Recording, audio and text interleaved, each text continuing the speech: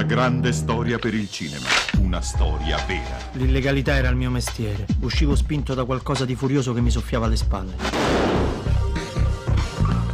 I soldi toccano a a piando stanno, dentro le case.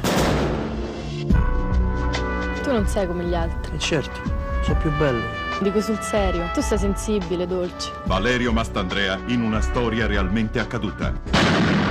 L'odore della notte.